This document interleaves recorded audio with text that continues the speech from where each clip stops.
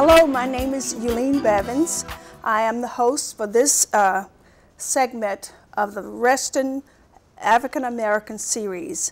I'd like to introduce you to the show's executive producer and creator, Reverend Laverne Gill. Reverend Gill has lived in Reston for three decades.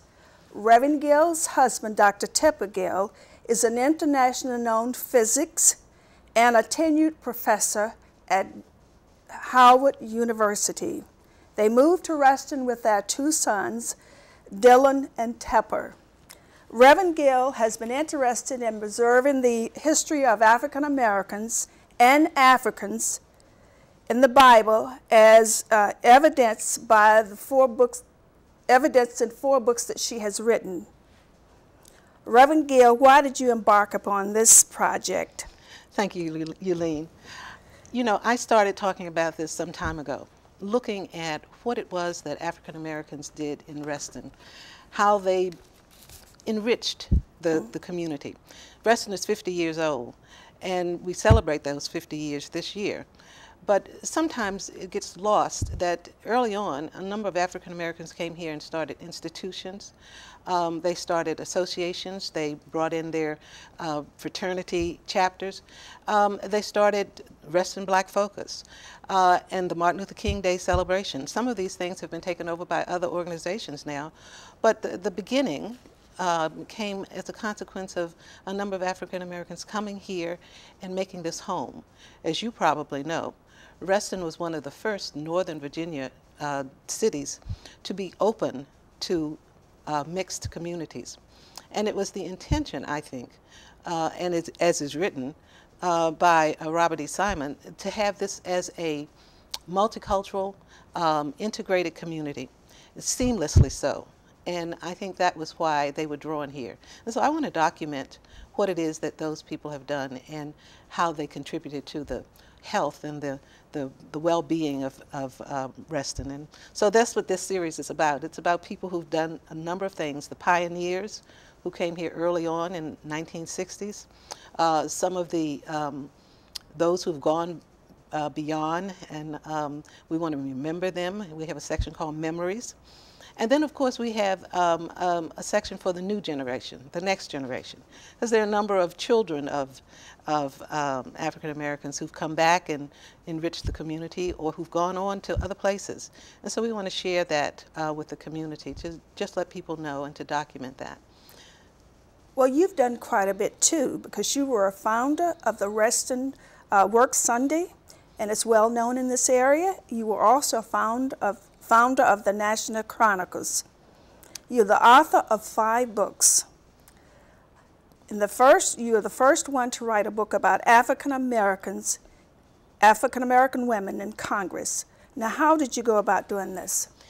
Well, as you see, I'm very old, and so when you're old, you do a lot of things.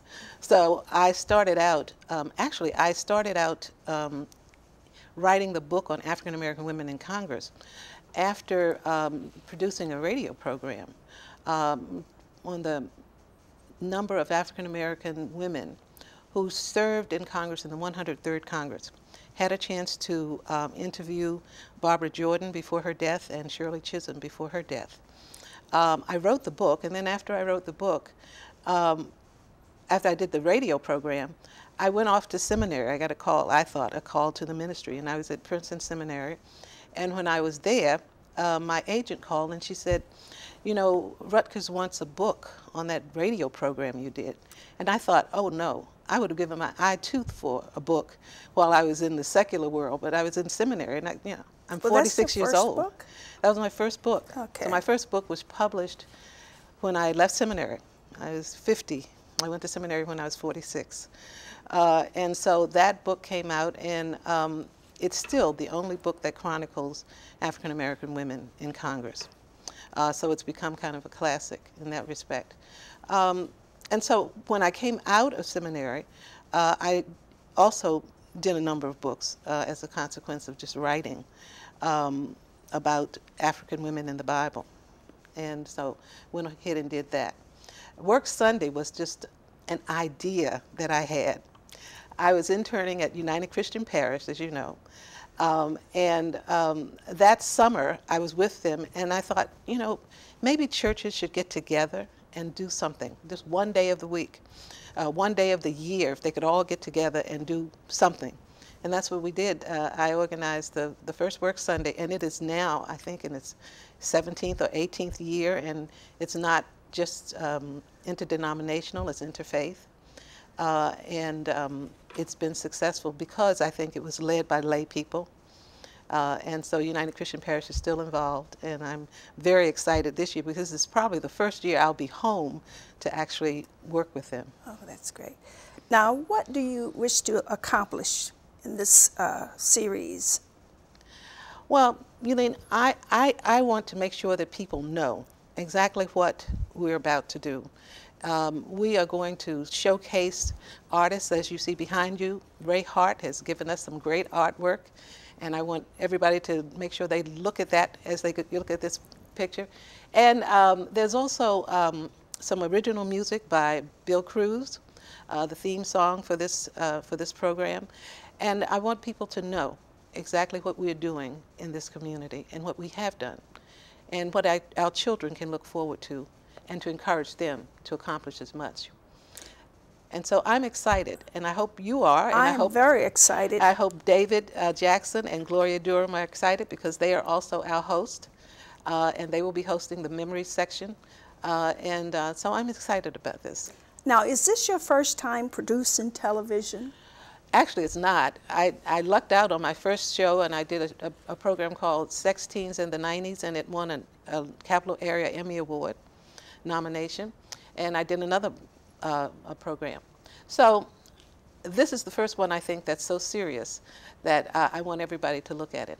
And so as we move forward, I hope that the audience will begin to look forward to this series, Reston's African American Legacy Series.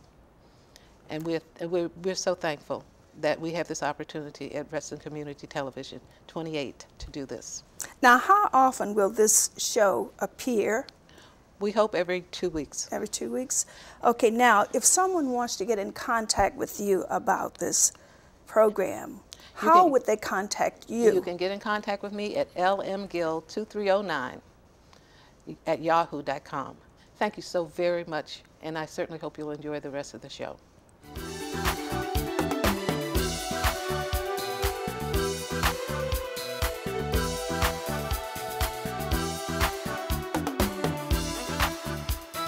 Welcome back to Reston's African American Legacy Series. It is my pleasure today to introduce my co-host, Minda Ahart, a longtime friend and a pioneer in and of her own right, and also her daughter, Pamela Ahart Stewart, uh, who is the co-owner, along with Beth Greenberg, uh, of a pet care company. And I'm also excited because Pamela will be our host for this segment of the show. Uh, so Pamela, welcome. Thank you. Beth, welcome. Thank you. And of course, my dear Minda, welcome. Thank you. It is so good to be here with you and to talk about this dynamic duo over here. when did they get started like this? Well, we moved, Tom and I moved to Reston in 1970 from, uh, no, actually to Alexandria in 1970 and then we moved to Reston in 1971, mm -hmm. August of 1971. Pam was one year old at the time. Our next door neighbor then moved away, and Beth's parents moved in. So they have been friends since they were two years old. Two so, years old. Yeah, so it's, it's been a great family relationship. Uh, we, we found out about Reston uh, when we looked in the paper and saw a Black Arts Festival advertised. So we said, ah, let's check that out. And after that, we moved to Reston. We were sold on the whole Reston concept. That I think that story is probably a story that a lot of people have to tell. Indeed. Uh, but today I want to talk about these young ladies who've really been, it's amazing that you've been friends that long.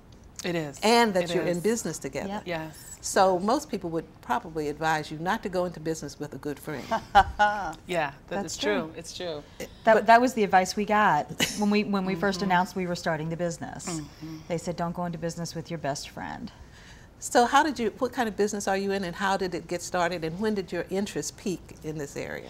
Uh, well, the business started in '98. And you know beth being my best friend and and to her point of people saying that you should not go to, into business you know with your best friend we balance each other out very well. Mm-hmm. You know, her strengths are my weaknesses and vice versa. Mm-hmm. So we knew we could go into business together.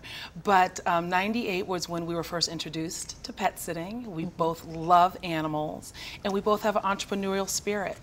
And so uh, we started it, and uh, immediately I came to her with the idea. She loved it, she embraced it. We named the business immediately. What did you name the business? Well, we started out with Best Friends Pet Care because we're best friends and we're going to be offering pet care. And then a few years later, not even a year later, yeah. maybe, we found out that the name was already established, and so we had to change the name. And that was a bit grueling, but we just quickly called it All Friends Pet Care because we knew we'd be taking care of all different kinds of pets. And so it just worked out perfectly, yeah. So are you a vet or this is something less than, other than being a mm-hmm. veterinarian? It's much, well, it's less. Mm -hmm. uh, we do pet sitting, so we care for pets in their owners' mm -hmm. homes. Mm -hmm. So the pets get to stay at home when the owners travel, where they're comfortable. They have their bed and their toys and their their favorite treats, mm-hmm. um, and they can stay securely at home. And the owners come home knowing that they're well taken care of. So how many people do you employ that would allow you to take care of so many homes? Well, it's it's wonderful. I mean, we really hit the wave in 98 mm -hmm. to mm-hmm. give pet owners another option other than a kennel or maybe a neighbor. And so um, we started out, it was just the two of us. I think that magic number seven came. We had seven people, then like 15. And now we're, we're very thankful to have uh, close to 70 pet sitters now. Mm -hmm. We service all of Northern Virginia. And uh, we really do take great pride in um, just giving people peace of mind when they go away that their pets and their homes are being very well taken care of. Well, you know what's ironic, Mendez? I saw this picture of the two of them ah. when they were little kids and they had on these animal outfits for Halloween. Does this start early? It started early. I remember uh, uh, in one of the homes we lived in, there was a, a, lower level, and in one of the rooms, the spare rooms, they had like a little menagerie. I mean, the, the gerbils and the gerbils hamsters. And hamsters and, and fish, yeah. and yeah. And so I could see a budding interest in. We had cats at home too, mm -hmm, mm -hmm, uh, but mm -hmm. I mm-hmm. never knew it would blossom into this. Mm-hmm. Oh, yeah. And actually, when they announced they were starting, they left a very good job. Mm-hmm. With uh, I won't mention the company. Right. And we're going to start our own business. And my, my, husband and I, and I'm sure Beth's my parents, parents said, yeah. Mm-hmm. "What? you are leaving this full-time, you have health insurance job. and everything else, and you're going to do what?"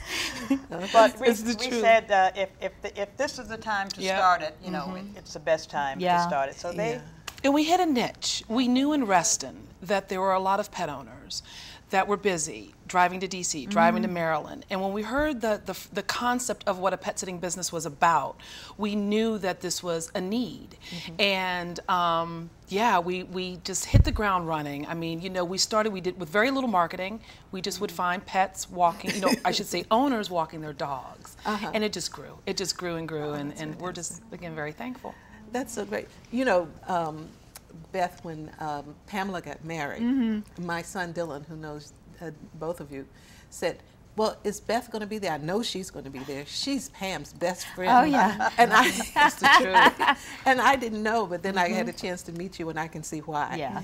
Um, and you're newly married. I am newly married. I got married in October, oh. and so just very happy. And he's a wonderful man who supports, you know, all my dreams and ambitions. And so. Well, is he ready for this show? Because you're going to be the host of this show. He is. He actually would love to be on it if it was up to him. if it was up to him, he'd love to be on it and uh, so stay tuned. No, but uh, no, but it, it, it, he is he's a wonderful support, and uh, yeah, I, I, just I love them dearly for it. Well, we're looking forward to it, and I know you are too, because you know your daughter can do anything she says she wants to. Yes, she uh, is excited about new ventures, mm -hmm. and I'm sure she'll she'll work hard to to make it. Uh, to make it a success. Thank and you. our families have been friends, not only the two of them, but our families have been friends. Mm -hmm. yes. So it's a, it's a, Oh, your mother is your mother's a great lady. We're, we're, we're cheerleaders for them. We're cheerleaders I know that's the them. truth. I know that's Thank the truth. you. Well, as our first guest, yes. I want to share with you a token of our appreciation for coming on to Reston's African American Legacy oh. series. And so Eulene will give you um, the first token. Oh my! For being on this so show. Thank you so much.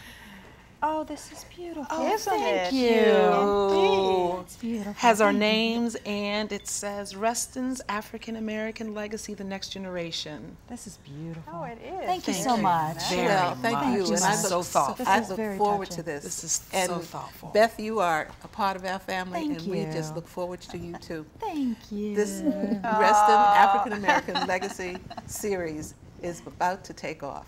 Yeah. Thank you so much for joining us.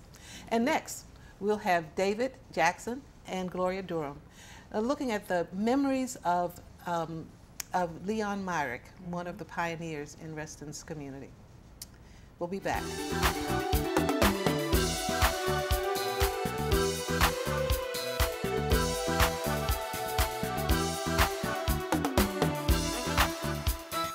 Hello and welcome to the Memories segment of Reston's African American uh, Legacy Series.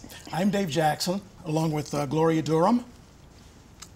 Memories will celebrate the contribution of African American Restonians who are no longer with us. Our guest today will reflect on the life and legacy of Leon Myrick, who, among other things, was one of the founders of the Martin Luther King Jr. Cultural Foundation here in, here in Reston. Uh, Gloria, you're a board member of the foundation. Would you like to introduce our guests? Thanks.